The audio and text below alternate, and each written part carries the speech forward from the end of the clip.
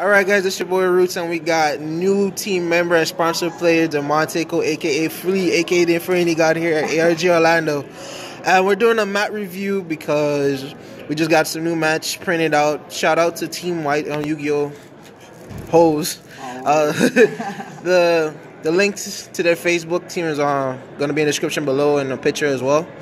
And um, their group admin Kristian Cozart printed out our match. Shout out to him and his crew, and I'm gonna take a look. So you'll see what Demonte, who plays only and Pyramid, feels about the new mats and how they feel. Right, Go ahead. Let's check it out. Let's check it out. So first of all, shout out to Team Relinquish. Y'all already know. All All right. right. So let me. Uh, this thing is pretty tight. So turn it over for the viewers. All right. So this thing is quite quite thick here. As you can see, we got a banish zone. I have yet to see that on any other mat. We got all the deck zones here, so we can't misplay. Zone zones. This purple relinquish in the background is too godly with the red and blue. The synergy is everywhere.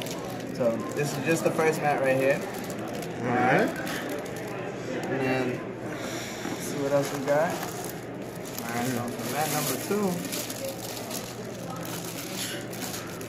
This one's pretty cold too. Oh, it has an extra card zone text on that one on the top. It does where? Oh, right there. Look at that. With the extra zones right here for your Link monsters, so you ready to play in 2018? Definitely caught one of these. All right. So, on a scale of one to ten, what do we give this? Uh, honestly, as as a as a true fan of cloth mats, I would honestly still play on this mat, uh, only because of the zones. So I'm I'm gonna rate this mat at a nine out of ten. All right. Honestly, because I mean, let's be real, not this perfect, but nine out of ten is very strong. Uh, I honestly don't even put cloth mats at ten. So this is I like this man. I'm actually gonna play this at the event. All right.